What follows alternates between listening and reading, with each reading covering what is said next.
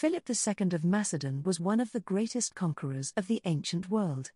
In 346 BC, after invading southern Greece and forcing numerous city states into submission, he turned his attention to Sparta. 150 years earlier, King Leonidas had led 300 Spartan warriors in the Battle of Thermopylae, where they had kept an invading Persian army of 1 million men at bay for three days.